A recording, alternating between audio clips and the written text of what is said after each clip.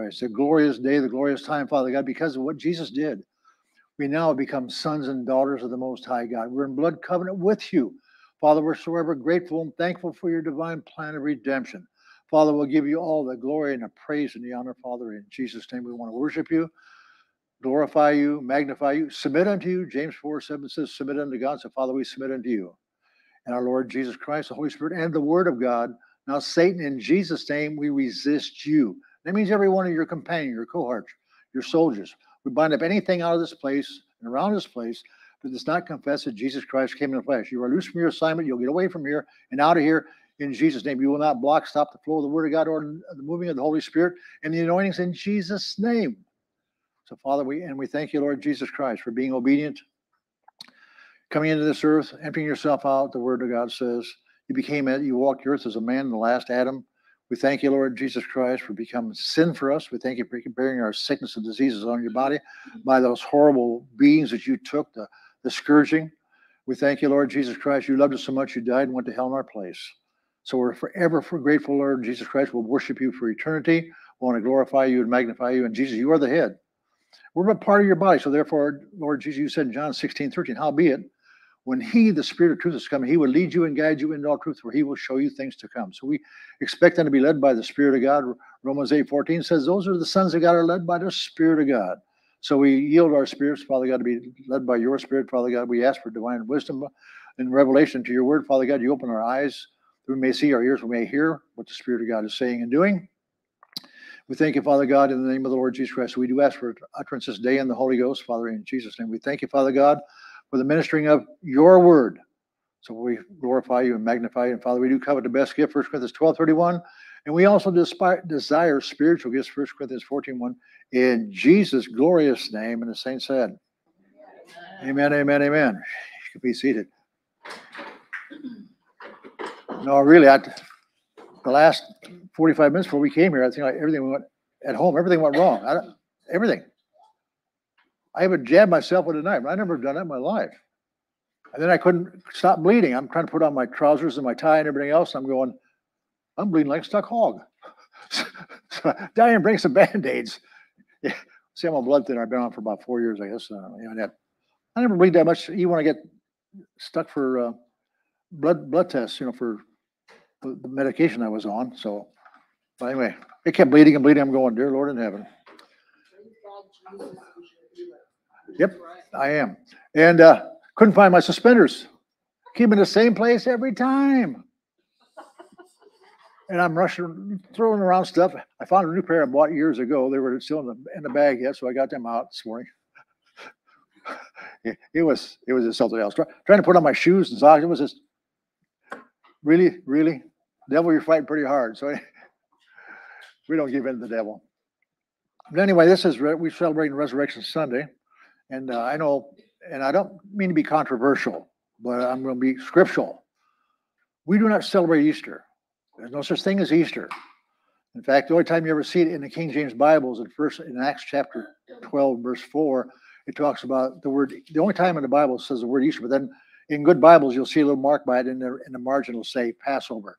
So as we turn to see, it, it didn't turn Easter until 3 uh, 325 AD under Constantine. But in uh, let's go to First Corinthians 15. Again, we want to be scriptural and we want to do things God's way because man, man has gotten in and started changing things throughout the centuries. What did I say? A five, yeah. First Corinthians 5. And uh, when man changes things, remember Jesus said in Matthew 15 and, and, Mark 7, for the doctrines of men, you make the word of God in none effect. So your doctrines do they have to be in line with what the word of God says. Well, in First Corinthians chapter 5 and verse uh, 7 and, uh, and 8. Therefore, purge out the old leaven, that you may be a new lump, since you are truly an unleavened. You are truly unleavened. For indeed, Christ our Passover was sacrifice, sacrificed for us. Verse 8. Therefore, let us keep the feasts. See, the New Testament church started out. They all kept the feast because remember we when we've gone back to Leviticus 23, talks about the, the seven feasts those aren't feasts of the Jewish people, they're feasts of the Lord. They're the Lord's feasts. They're continually carried on and carried out. But we but after 300 AD, things got changing. They don't no longer uh, uh, recognize the feast, they do things their own way and have different different things in the, they they indoctrinated pagan worship and pagan things in the body of Christ in the church world. That should not be. Well, but see, people weren't taught. See, we and most time in most churches, every year at this time, it's the same ritual, same you hear the same message, the same thing all the time. It's just that's the only time you hear it. I guess one thing I did like about the Catholic Church, they each time you went back and you but they went up to the cross all the time. So it kept you in remembrance of what Jesus did. See, Jesus is no longer on the cross, but he paid a horrible, horrific price for you and I.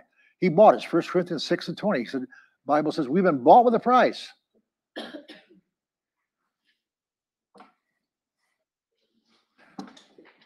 I want him here for a reason. So I'm gonna, I'm gonna stand on this side of the table today. So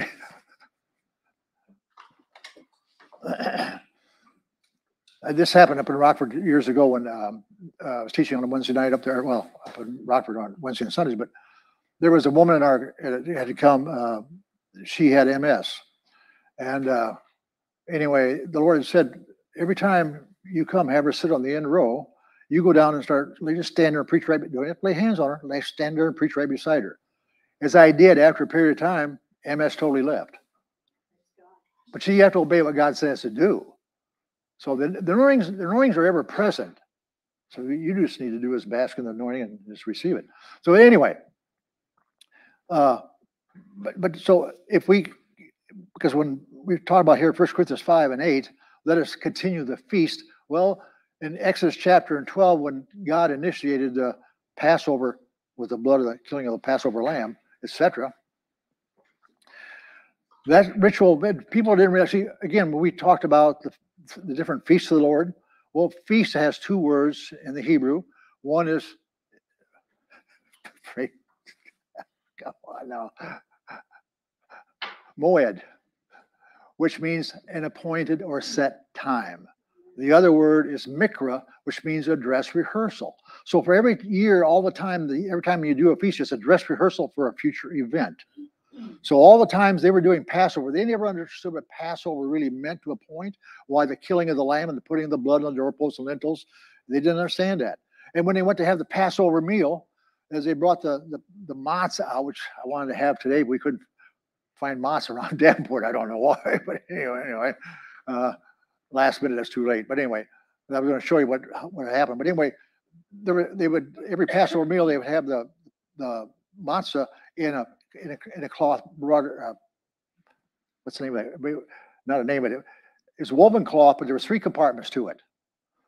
Anyway, for years they always thought the Jewish thought people thought it was Abraham, Isaac, and Jacob, but actually it was Father, Son, and Holy Ghost. So the night that Jesus took out when he had the Passover, he took out the middle compartment, which they never did. They couldn't they couldn't understand understand why he kept breaking Isaac all the time. Well, it wasn't Isaac; it was Jesus, because Jesus broke it and said, this is my body, the one you've been proclaiming. This is I'm the Passover lamb. And therefore he said, when you eat that eat this bread. So anyway, so the things of God are meant to be there for a divine everything that God does has a divine purpose and a reason for it. We may not always understand the purposes or the reasons, but it's there for it. It, it, it is. And there's so many mysteries as I've been studying back in in the feast and different things. Uh, so many things about the Passover meal and also about the cross and so many things. There's so much in depth that we haven't never been taught to those degrees, but it's, it's in the Word. It's always been there. God, God is a specific God. God doesn't do things just by chance. So anyway, we're going to do a little quick review, I think, till I get to the point of first. We're celebrating first fruits today because Jesus is the first fruit. But before we get back, we want to bring a little bit of back of memory for what we talked about a little bit about last week and about the, the Passover, because it's still Passover week. But anyway, when when uh, okay, I had all these things down in exact order. Friday and Saturday. Woke up this morning at four thirty. I don't have any more, so I'm I'm just going to have to go with what comes up. So, so I hope I don't mess things up. Anyway, listen, we're going to take you back to, to the Passover meal what Jesus celebrated with his disciples. That's why when he set the, I want to celebrate this meal with you before I'm sacrificed. Now, he had told them throughout the years and different times, the Son Man must be lifted up. Once I be lifted up, I draw all men unto myself.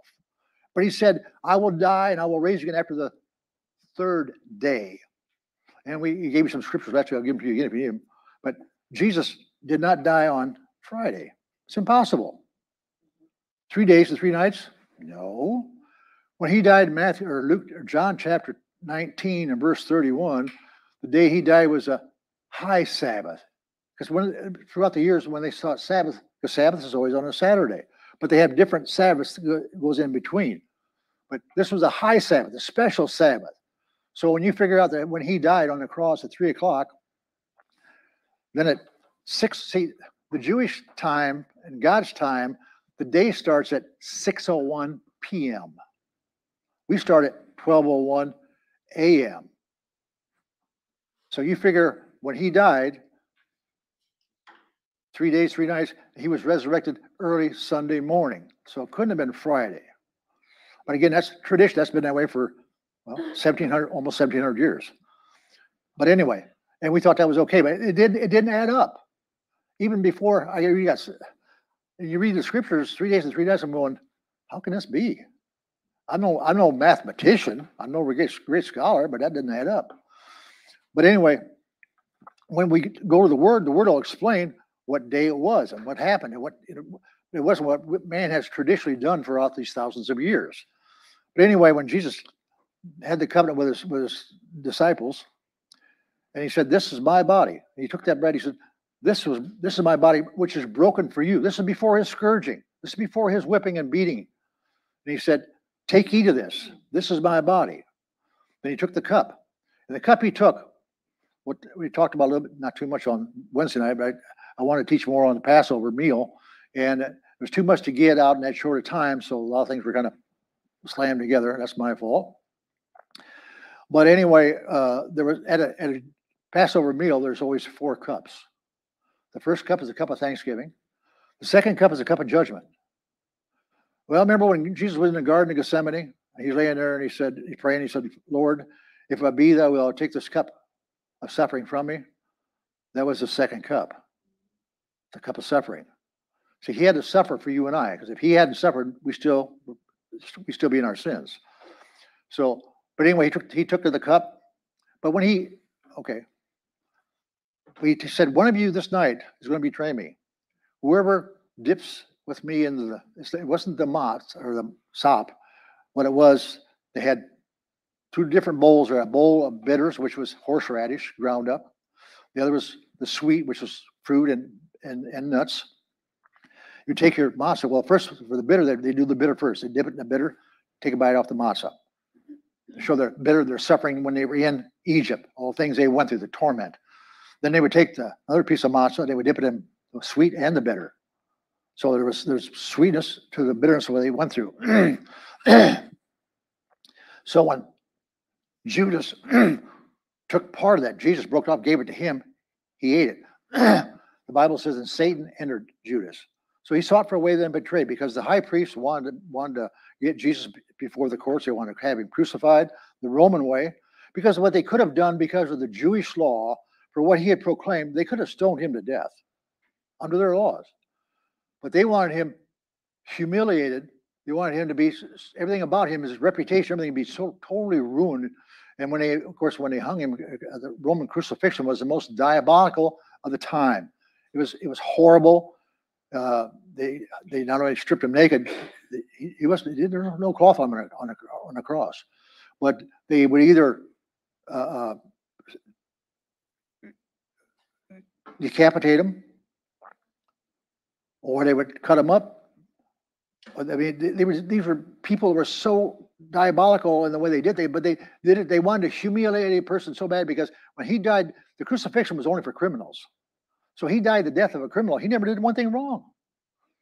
So that's why after then, after he ate with them, he, he said, "This is the, this is my meal." So when we have a when we receive communion, we should do it respectfully and not just as a haphazard. It's not a big deal. Yes, it is a big deal. This, this means something. When we take that broken bread, Jesus said, This represents my body, which is broken for you. When you drink of that cup, he said, This represents my blood, which is shed for you in remission for many. Only those that receive it. So that means you come in a covenant with God. So it's a covenant meal, covenant sacrifice. We keep going back and putting God in remembrance and also ourselves what Jesus has done for us and who we are, who we belong to. So communion should not be just a haphazard thing or well, maybe we do it, maybe we don't. No, something very vital and important. But see, but again, the church world has gotten kind of desensitized to the communion as they had to the cross.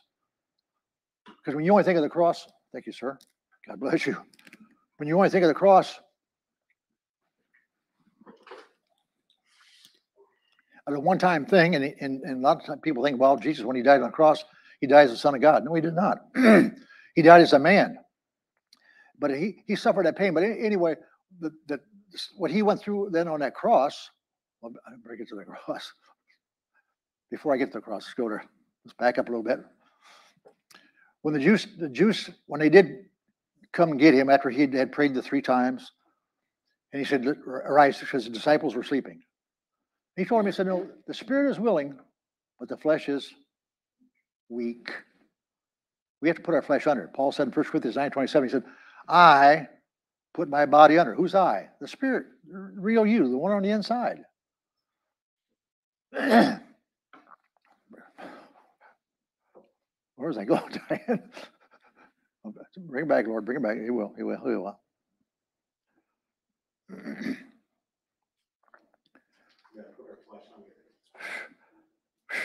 what? I, I can't hear. What'd you say? Put your flesh under. Put your flesh under. Crucify the flesh. Crucify the flesh. Thank you. He's paying. They're paying attention. but so that's what you and I are supposed to do. So that's so we, we go through communion. We're recognizing what Jesus did and what we, we how important it is to God. It's not just a trivial thing.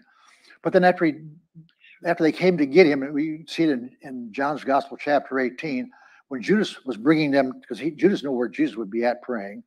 And of course, when he come to him in John, John chapter 18, and he, Jesus said, Who are you looking for? They said, Jesus of Nazareth. He said, I am. When he said, I am, they all fell to the ground. And again, he said, Who are you looking for? They said, He said, I am.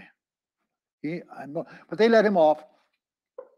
And the high priests and, and the Pharisees and the elders, they asked him all these kinds of questions, you know, and uh, who are you and different things and are you the son of god? And and of course they got so mad they said well this is all we need to do you know we'll turn him over to pilate.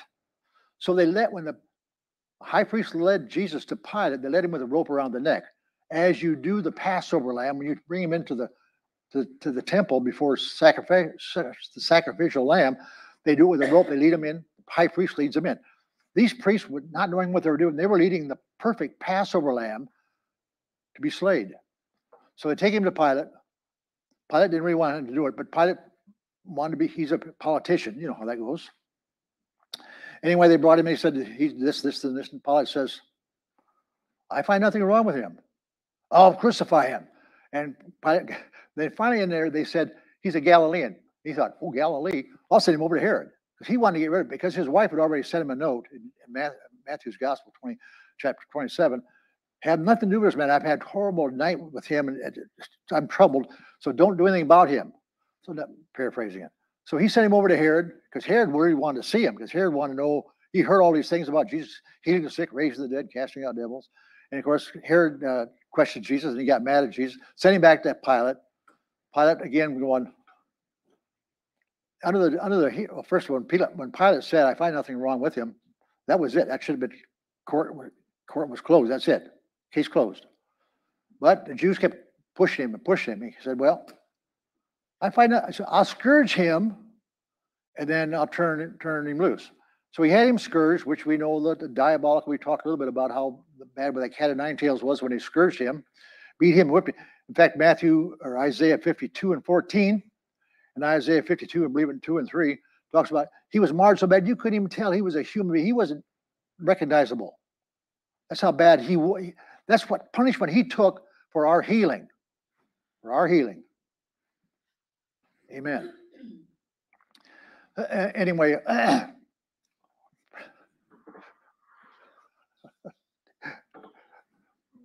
these little side journeys getting me getting me off. Trying, I'm trying to think where I'm going. I don't need to think. I need to smell the Holy Ghost.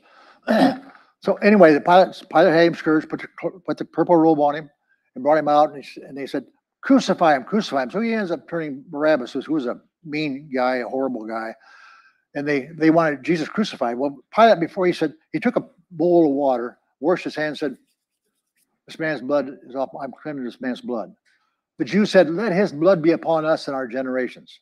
Well, it was, and they didn't realize. See, they hated. But see, Pilate knew they were so jealous of him, and they envied him so much. But he had him crucified. So as he walked, of course, he went to go to the cross, and and Simon the Cyrene, uh, Syrian, uh, Cyrene, Cyrenian, carried the cross for Jesus. And uh, anyway, they nailed him to the cross. Of course, we know that the cross was such a horrible thing. I talked a little bit about it. But that cross, he for six hours, from nine o'clock to three o'clock, he had to push up on his heels to breathe because when you're down in the way you were, you you can't breathe. So he had to push up. So you get air in your lungs, and then after a while, you collapse back down again. Well, every time you do that, and I said, I think I said last week, because when your hands are out in the cross that way and you're you're nailed down, but after the back and forth, back and forth, after a while, your your shoulders come out of their joints, then your elbows come out of your joints. After a while, your arms are nine inches longer than normal. See, we didn't never knew that before, but it's a whole how horrible, diabolical the crucifixion was. And, and of course, they're, they're mocking him. Of course, the Jews are mocking too. And he starts crying out, "E- Eli, Eli. And they thought, well, he's calling for Elijah to come. He said, well, if he's God, let him, let him save himself. So they're mocking him all the time. And, they have two soldiers at the foot of the cross. They have to guard him so nobody comes in and rushes and takes him down from the cross. Well, anyway, we know that then at, at uh, 12 o'clock, there was a great darkness. I mean, a darkness over the earth. Well, and Jesus started crying out, Eli, Eli, lama sabachthani. In other words, my God, my God, why hast thou forsaken me? That's the first time in his total existence he was ever separated from God. In his spirit, not only just the flesh. I mean, he, he in heaven he wasn't flesh; he's a spirit. That's why we, we know that he died the deaths on the cross because in Isaiah 53 and 9, if you check out the Hebrew in my King King James uh, Cambridge Bible translation, says in his deaths, plural, two times. See, the first Adam died first spiritually, then second physically. Jesus died spiritually, he died physically. Spiritual death is separation from God. It doesn't mean you're annihilated. When a person dies, you don't you don't just there's nothing anymore. You're not dead. I mean, you're just you're gone forever. No. Your body may lay down, but your spirit either goes to heaven or hell, one of the two. Well, when he died the deaths on the cross, and we know that at three o'clock, the exact same time the high priest sacrificed the lamb on the altar with a knife, he slit its throat. That's the exact same time Jesus said, Father, into your hands I commit my spirit. He said, It is finished. That moment the high priest said it is finished, that means their sins were covered for a year. But Jesus, when he said it is finished, the old covenant was finished. The new covenant came into effect. So all the rituals before that, because when he died on the cross, there was a great earthquake, and the temple curtain was ripped in two from top to bottom. That means the approach to God is different now. You, you as a normal person or, lay person, you couldn't go in, you could go in the outer court or the inner court. You could not go in the holiest of holies. Only the high priest could go in there. But now you and I are temples of the Holy Spirit. 1 Corinthians 3, 16, 17, 1 Corinthians 6 and 19, and 2 Corinthians 6 and 14. The Holy Spirit resides on the inside of us. So one of us kept locked up, so holy in there. And we know what happened to, to Aaron's two sons when they made a false fire. They died in there. Well, see, you and I, we have wherever we go, you have to realize who's on the inside of you. Wherever you go, God goes. Yeah. If you go to a place you shouldn't be going, you're taking God right along with you. Well, he'll never see it. Well, he's in you. He knows exactly what you're doing. But but again, the church has gotten desensitized to things about who they are in Christ Jesus. They don't know who they are, what they what Jesus did for them. We're supposed to be followers of Christ. He's our he's the head, we're the body. We're supposed he's our example. We're supposed to follow his ways. Paul said, imitate me as I imitate Christ. Well, when we get the first time they ever used the word Christian was in the book of Acts, because Christian means little anointed one. Christ means the anointed or the Messiah's anointing with his anointings. Well, we're called Christians. That means little anointed ones. That's exactly what Satan saw on the day of Pentecost. At one time, Jesus was the only one anointed with the Holy Ghost and power. But when day of Pentecost came, 120 got the baptism in the Holy Ghost, and that's they saw their spirits were see a spirit, a demons. They can see in the spirit. They can they look past your flesh. Then now he saw 120 little Jesuses out there. Then later on was 3,120. Then pretty soon another 5,000 were added. So we we need to realize who we are, what God has done for us. But anyway, when he died on the cross and he thrust that spear into his side, Golgotha is called the place of the skull. Well, for years, and I heard different pastors, different ones talk about there's probably uh, uh, uh, Goliath skull. No. As I started studying, going back into some of the Hebrew and early church writings, that's exactly where they buried Adam.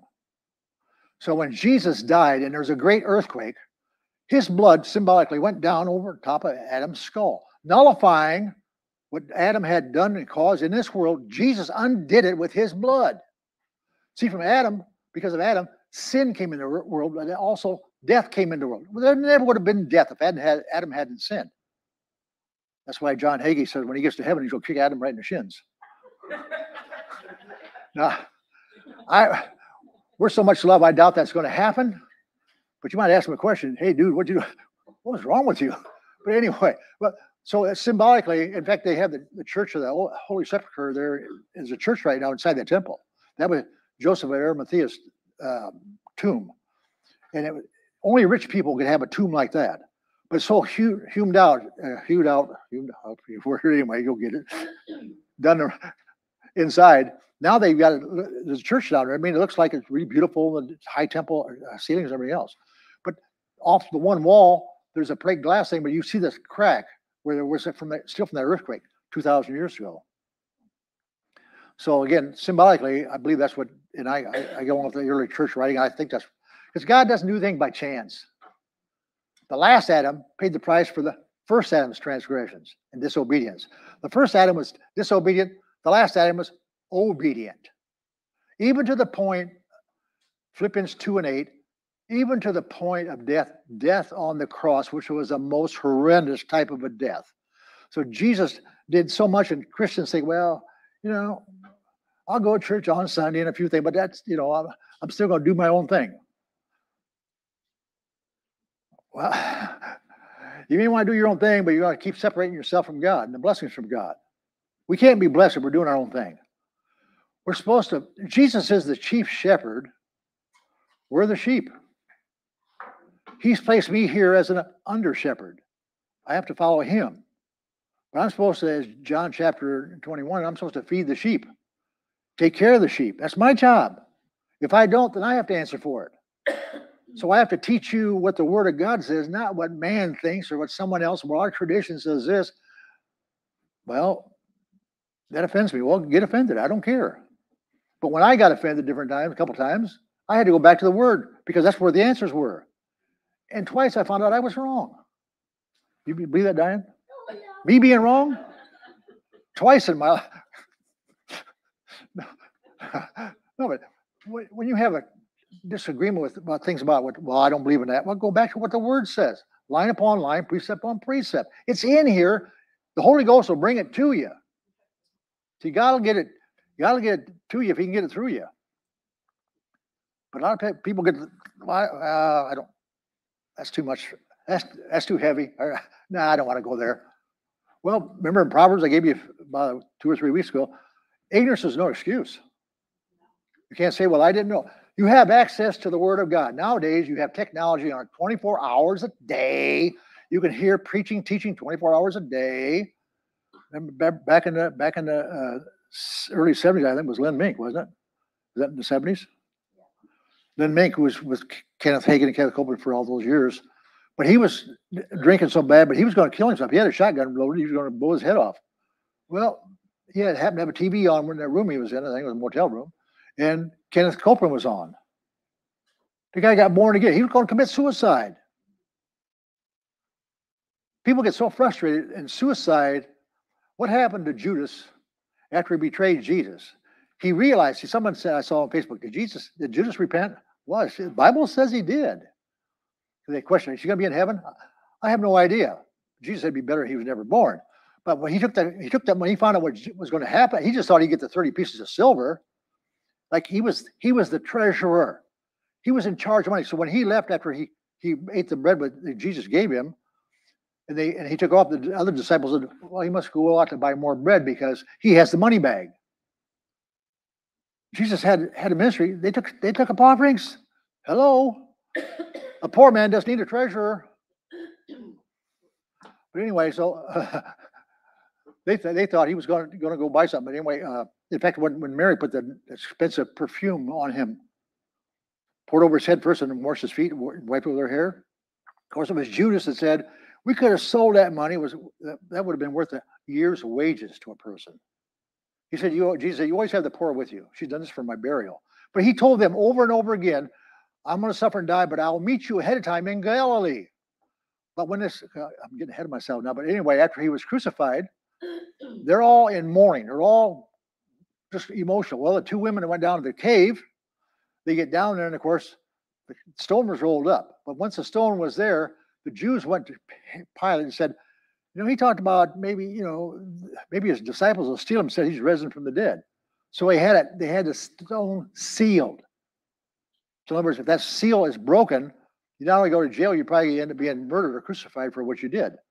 So when the women get down there, they see the stone is open, the stone is rolled away, the tomb is open, and there's this big angel sitting on the on the stone. I mean, he's like he was sitting in a chair.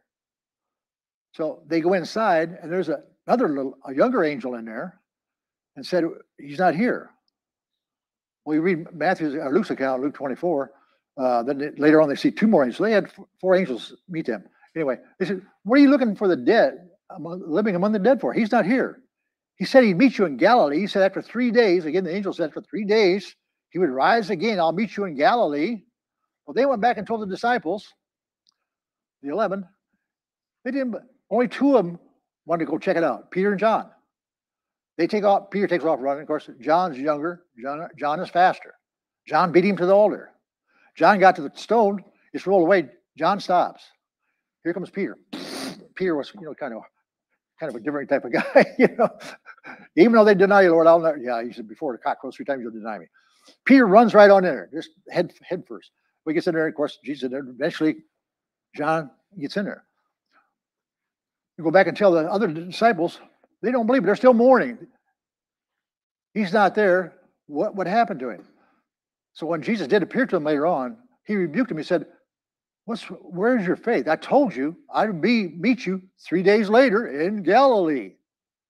And of course, later on we find out in John's gospel, Thomas wasn't there when he appeared to, to the to the eleven, uh, most of them.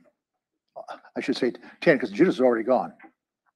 Anyway, Judas said, unless I, because he heard what the other disciple said, he said, unless I can see the holes in his hands and his feet and put my fingers through his side, I'm not going to believe.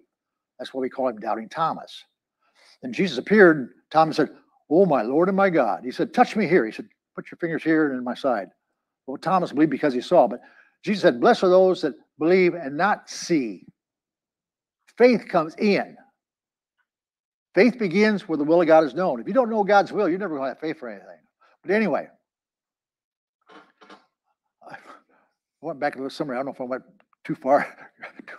I probably left some things out. But anyway, because it's first fruits. And Jesus was resurrected, he was resurrected on Sunday morning. So Sunday is what? The first day of the week. It's not Monday. Monday, that's, that's, that's a Gregorian uh, calendar type thing. The first day of the week is Sunday. Monday is the first maybe work day or first, first work day, but it's not the first day of the week.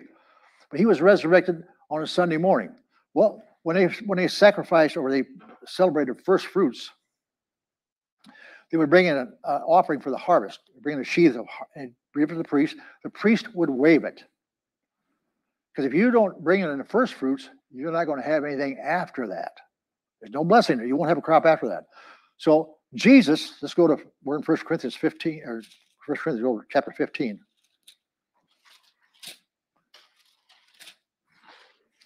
Verse 20. But now Christ is risen from the dead and has become the first fruits of those who have fallen asleep, or those who who uh, are not physically on the earth anymore. Again, remember when Lazarus was in the grave in John John chapter 11? And uh, he came there, and of course, before he went there, he heard that Lazarus was, uh, sick, and, and Jesus said, Well, he'll, he'll be all right. He, he, he, he sleepeth. And they said, Well, if he sleeps, he'll wake up. Jesus said, No, he's dead. See, they, his body was asleep, spirit was still alive. But anyway, we called Lazarus out, and Lazarus came forth. You know, but Martha said beforehand, Lord, it's been four days. He stinks by now. He said, I am the resurrection, and I am the life. Though a man die, yet shall he live. Your spirits are eternal. God is a spirit. You were created in God's image and God's likeness. God is a spirit being. So your spirits are alive forever. Anyway, when Jesus rose from the dead as the first fruits, if we go back, okay, I'm going to show it to you. Let's go back to Matthew chapter 27 real quick.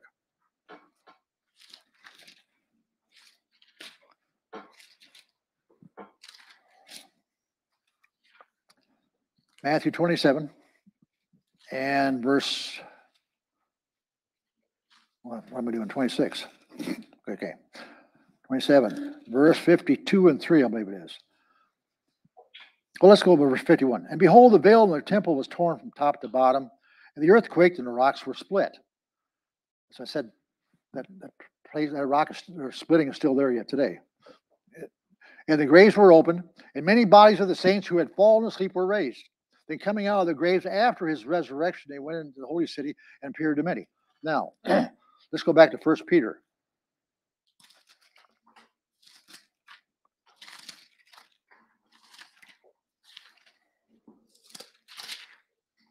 Diane, remind me one more thing here. I've got two things going here. Uh, Passover blood the, on the doorpost. Remind me of that. where am I going here? First Peter chapter three. Uh, let's start with verse. Uh, that's in Second Peter. Start with verse. Uh, let's start with verse eighteen. For Christ also suffered once for sins, that he, and the just for the unjust, that he might bring us to God, being put to death in the flesh, but made alive or quickened in the spirit, quickened by the spirit or in the spirit. Other words, being made alive. Those and he also went and preached to the spirits in prison who were formerly disobedient when they were once divine, uh, divine long suffering. God waited for uh, the days of Noah and the ark being prepared, in which a few being saved, which is eight in all, through water, which is a type of anti-type of, of salvation. In other words, water baptism does not save anybody. Chapter four of Peter, verse six. For this reason, the gospel is preached also to those who are dead, that they might be judged according to the men in the flesh and live according to God in the Spirit. So when Jesus, before he came up out of one compartment of hell, which were, remember the rich man and Lazarus, Luke 16? The rich man was in hell. Lazarus was in Abraham's bosom. There's a great gulf between them. Abraham and all the saints were had to be in They weren't their spirits weren't alive unto God. Jesus had to go preach to those in Abraham's bosom. Those were the ones that came up with Jesus when he was resurrected. In fact, Acts chapter 1 verse 9 says when he was resurrected, he was taken up into a cloud. It wasn't a cirrus cloud or a rain cloud, it was a cloud of witnesses. So those that had been because before before Jesus ascended, the first one born from the dead. See, there's there's a firstborn, there's a secondborn, there's a thirdborn, there's millions born. If you're born again, you're a child of God, your spirit's alive unto God now. You're a child of God. But Jesus was the first fruit. If he hadn't died, when he came into the earth during at Christmas time, we celebrate his birth. That was a great thing. But if he just came into the earth, was born, and left, wouldn't done you know one bit of good. He had to come, suffer, and die to pay the price for sin and spiritual death. If he hadn't, you'd either have to be a Jewish proselyte or you'd end up in hell, the bad compartment. But he wouldn't preach to those that were Abraham had to be preached to the father of faith. But when when 2,000 years before Jesus died, when when Adam or Adam, when Abraham took his son three-day journey up on Mount Moriah to be sacrificed, because he trusted God. He, in fact, in Hebrews chapter 11, around verse 19, Abraham saw his son being resurrected in a vision, but what he saw was Jesus Christ being resurrected. But he was going to kill his son and burn him up. But when God, when in fact, when Isaac being 20 years of age, so that means Abraham was about 120 when this happened. Isaac jumped on the altar, free, free will, free will. He was tied on the altar. Abraham's getting ready to, and the angel said, "Stop!" Well, he stopped, and he looked, and there was a lamb caught in the in the bushes, a ram caught in the bushes. That's when Abraham said, "That is the Lord our provider, Jehovah Rapha." What he's actually said was, not only provide for us all the time, the Lord will provide a lamb. Jesus was the lamb 2,000 years later, the providing of a lamb. Jesus was our sacrificial lamb. So all these things that seem kind of mediocre or different things, we don't understand all the thing. Everything God does is exact. Everything has something behind it. Specifically, dynamically, we need to get the revelation of what God does, what God has done for us, what Jesus did, what Jesus still does for us, because He's alive and we're alive unto Him. And we're supposed to be getting ready to usher Him back in for the for the rapturing of the church. We have a part to play, so we're supposed to do our part, but we have to follow the leading of the Lamb. We have to be following the Holy Ghost and following what the Word of God says. There's many things that we're supposed to do. We have to do those things. Well, they've been saying that for thousands of years. Yeah. But some things couldn't happen. Number one, until Israel became a nation, 1948. Then they Jerusalem, uh, they took control back over Jerusalem again in, 60, in 67, the Six Day War. Oh, God is a God. God is so, He's so awesome. There was a song years ago, Our God's an Awesome God. He, he's more, I don't know the better word than awesome, but He's the best, magnificent, dynamic, whatever. He's, everything. He's everything. He's he's the greatest, best. I mean, there's no words in the natural in the English language. I don't know if I could use, but anyway. So we should be looking to Resurrection Sunday. Be so thankful what Jesus did for us and what God provided for us through the plan of redemption that we shouldn't take our salvation lightly. We should be so thankful on a daily basis. When you wake up in the morning, thank God. Well, God has promised you long life if you know how to keep and obtain long life, but if you don't, you don't, the devil will steal it. He comes to steal, kill, and destroy. It doesn't just happen. You have to work the word. I have to work the word. I, and I, listen to what I'm saying. I am not trying to be braggadocious. But when I go to the gym, I work the word. Saturday I went and I usually do 60 minutes hard cardio. Well, I did 75 on the arc, which is so much harder than what I usually do 30 on one and 30 or 40 on the other one. I decided I must, in Jesus' name, now I'm 81 years old. Do I have to do that? Do I need to? No.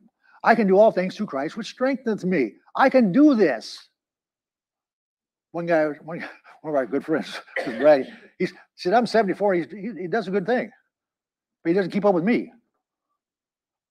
But I have to work the word. So they work in every area of your life, not just in the physical part, but in every part. The word always works, but you got to work the word. You have to put the word into motion. You have to believe the word in your heart, speak it with your mouth, then act on it, do it. If we don't, it doesn't come to pass. And people get, well, God, maybe he said no this time. No, because his promises are all yes and amen, right? Yea and nay.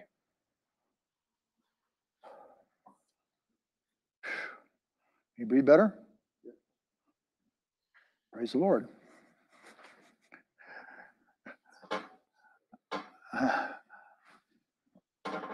Thank you, Lord. Thank you, Lord. Thank you, Lord. So we serve a God who's more than we serve a living God, not a God that's off somewhere and abandons us or some some kind of a figment of somebody's imagination. We serve a God who is alive. Amen.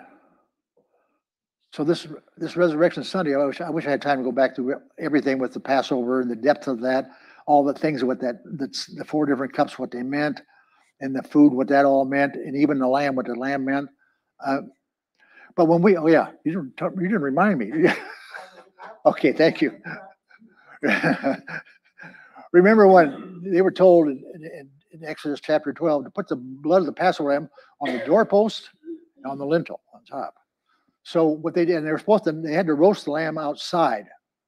They couldn't boil it. They had, they had to roast it outside, take it into the house. So they went in under the blood and had the part the lamb in them. You and I, we go to the cross. The cross is the door. We partake. We have Christ in us. The Bible says, I think it's First Colossians 1, 17, I think it's 27. Christ in you, the hope of glory. So as they they had the protection with the blood, we have protection with the blood. We have the lamb in us. Hello. Think about that. Think just think for a minute about you're a temple of the Holy Ghost. Gotta before before Christ died, you had no access. You had to go to a high priest. You had to go to a priest. You had to offer sacrifices every year. That only lasted for a year. And after you made the sacrifice, if you sinned, you were done for another year. You had to wait for another sacrifice. But with Jesus, we don't have to wait. That doesn't give you a license to sin. But 1 John 1 7 9 says, if we confess our sins, he's just to forgive us and cleanse us from all sin and all unrighteousness. Amen. See, the, the blood under the old covenant was an atoning factor, it covered. Jesus' blood doesn't cover, it annihilates it, it, it destroys it. Totally, that's why he had the perfect blood, the perfect spotless lamb. In fact, in First Peter chapter 1, around verse 18, he said, I'm a Peter, might as well.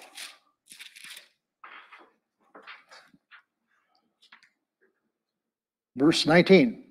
Oh, verse, verse 18. You were redeemed with corruptible things such as silver and gold from your, from your aimless conduct received by the tradition of your fathers. But, but, that's conjunction, with the precious blood of Christ, the Lamb without blemish and without spot.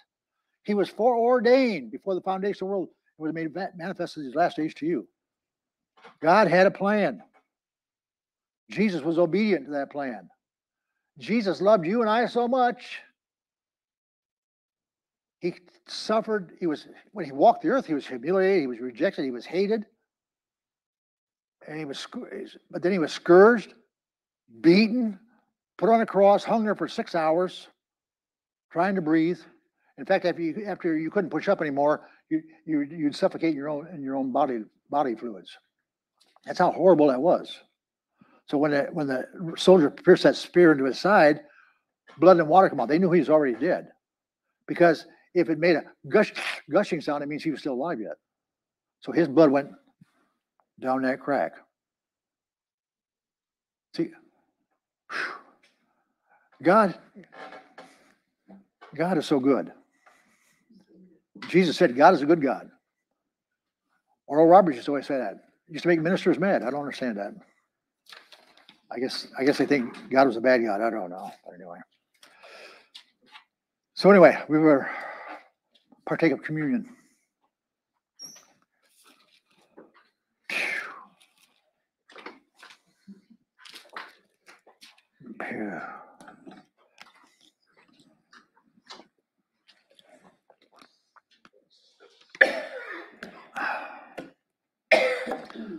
Oh, bless you.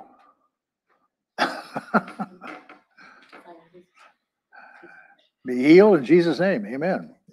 First Corinthians chapter 11. When Jesus, uh, Paul, Paul said in verse 23, he said, I received from the Lord that which I delivered to you, that the Lord Jesus on the same night which he was betrayed. So remember, Judas betrayed him for 30 pieces of silver.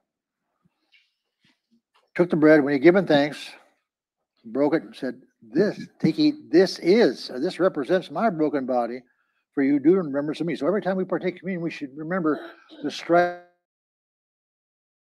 horrible price just so we could be sound and healed and whole and free physically, mentally. Same manner, he also took the cup after supper, saying, This cup is a new covenant in my blood. This do as often as you drink it, drink it in remembrance of me. For as often as you eat this bread and drink of this cup, you proclaim the Lord's death till he comes. Therefore, whoever eats this bread or drinks this cup in an unworthy manner will be drinking, uh, will be, be guilty of the body and the blood of the Lord. But let a man examine himself and let him eat of that bread and drink of that drink of that cup. Thank you. For he who eats and drinks in an unworthy manner eats and drinks judgment to himself, not discerning the Lord's body. For this reason, or this cause, many are sick, many weak, many die. For if we would judge ourselves, we would not be judged. So, thank God Jesus took the judgment. Well, or save that one.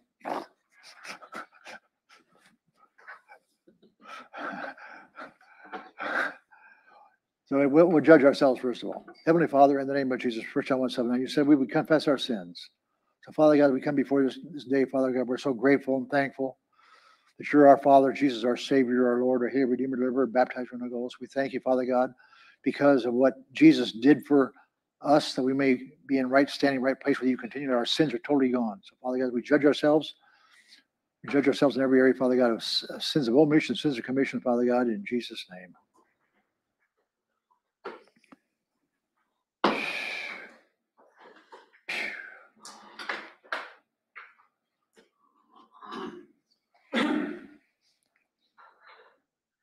So when he had taken the bread, he broke it. Again, I wish I had the master. I would have, I would have done what he did and what they did throughout the generations before he came into the earth. But uh, when he broke it, I broke off in pieces. But when he broke it, half went into a napkin, and that's that was representing Jesus' body had to be resurrected.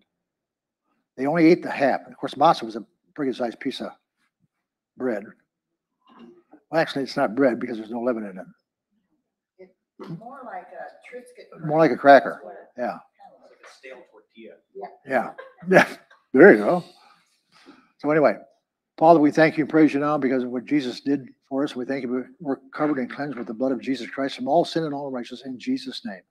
So he took the bread, he broke it, and said, Take, eat. This represents my body. So, dear Lord Jesus, we thank you for every stripe on your back and your body, Lord Jesus Christ. You suffered so horrendously that we might be healed, whole, sound, and well. Thank you, Jesus. We accept it now and all partake in Jesus' name.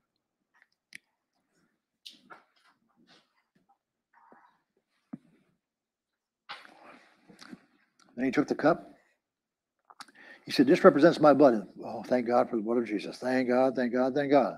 Because of that cleansing blood, he purchased us with his blood. 1 Corinthians 9 and, and 1 Corinthians 6 and 20. We've been bought with a price. Jesus paid the price for us. He bought us.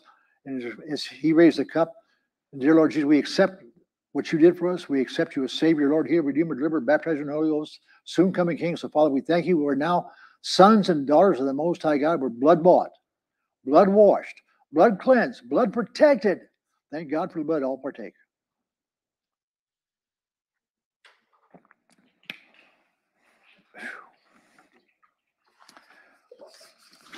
Again, it's not just some thing we just do. As we get ready to take up our tithes and offerings, where am I going? Oh.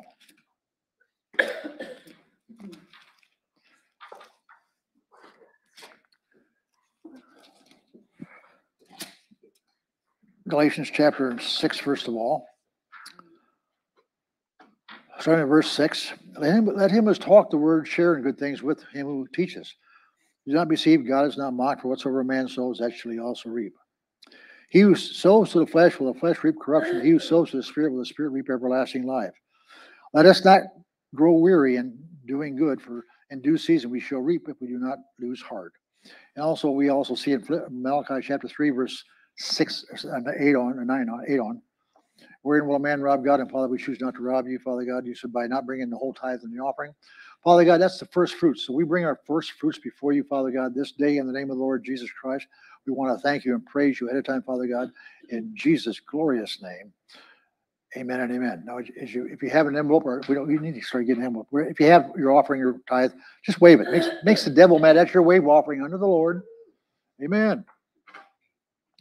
Makes the devil mad, but that's your, we used to do that quite a bit in, in DeWitt. I don't know why I don't do it here. It's my fault, I guess, but that, is the first fruit. So you're saying, Lord, because I bring in the first to you, everything behind is going to be blessed. He bless you give him the 10, you can be blessed in the 90% that's left. Amen. So he's still the God that's more than enough. You can't outdo God, you can't outgive God. Well, yeah, but you know, uh, I don't know that tithing stuff. Well, you don't have to, but God says we're supposed to. And also in Hebrews, we see that Jesus now is our great high priest. He ever lives to receive tithes and offerings. So he said in, in the earth, he said, men receive tithes, die. But there, Jesus ever lived to receive tithes and offerings. Thank you, sir.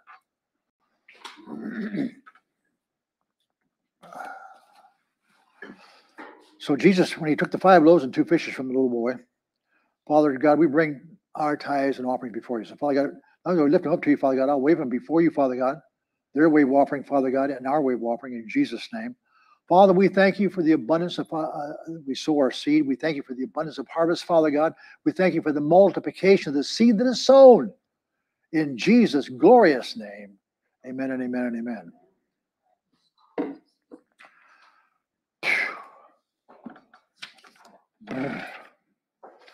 I don't know if I did it right or not. Am I, am I leaving something out? Yeah. Oh, yeah, thank you. I do something out. Father God, we pray for every person within the sound of my voice that are watching, Father God. We thank you, Father God, that under our covenant, we thank you, Father God, because of your divine will and purpose and what Jesus did for us. I would ask you, Father, Acts 4 and 3, to stretch forth your hand and heal every person within the sound of my voice, Father, in the name of the Lord Jesus Christ. Touch them and heal them from the top of their head, the soles of their feet. Make them sound, healed, whole, and complete, totally restored and complete in Jesus' glorious name. Satan, take your hands off God's people in the name of the Lord Jesus Christ of Nazareth. In Jesus' name, be healed. In Jesus' name, receive. In Jesus' name, amen and amen and amen.